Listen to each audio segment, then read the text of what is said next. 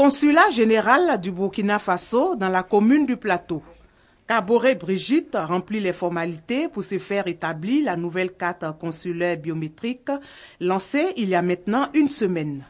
Tout comme elle, plusieurs ressortissants burkinabés vivant en Côte d'Ivoire sont venus se soumettre à l'opération. La nouvelle carte biométrique burkinabé, mon point de vue, c'est présentable, c'est praticable. Sinon, ma carte n'est pas encore périmée, mais c'est parce que ça me plaît que je suis venue.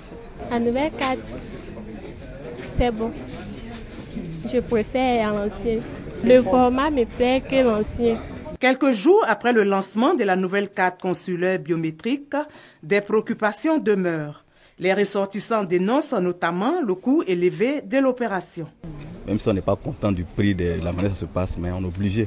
Parce qu'on a besoin de ça pour travailler. C'est trop cher avec les temps qui sont dus vraiment. Avant c'était combien? Avant c'était 5 000. C'était moins quand c'est venu à 5 000 francs. Maintenant du coup un coup on dit 7 000 francs. Cette nouvelle carte biométrique sécurisée est une initiative du gouvernement burkinabé. Sa durée de validité passe de 3 à 5 ans. La durée de validité de la nouvelle carte biométrique sécurisée passe de 3 à 5 ans.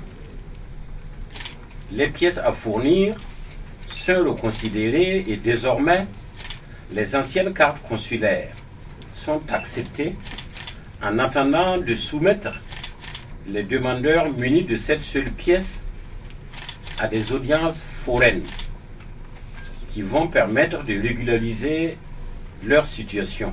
Reste maintenant la question du coût élevé de l'opération, mais le gouvernement burkinabé entend y faire face avec l'aide de partenaires.